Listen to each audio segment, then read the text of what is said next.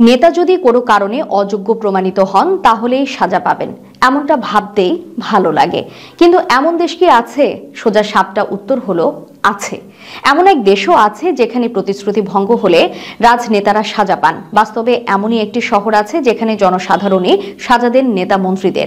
আর সেই জায়গাটি হচ্ছে ইটালির ছোট্ট শহর ট্রেন্টো। কলকাতা টাইমস এর তথ্য, এই শহরে রাজনেতাদের সাজা দেওয়া হয়ে থাকে।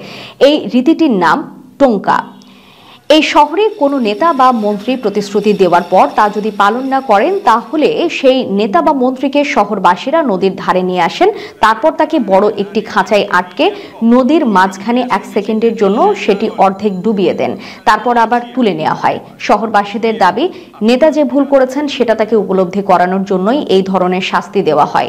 প্রতি বছরের জুনে নেতাদের বছরভর প্রতিশ্রুতির হিসেব নেওয়া হয়। কতগুলো পালিত হয়েছে, কতগুলো পালিত হয়নি, তার হিসেব কষা হয়।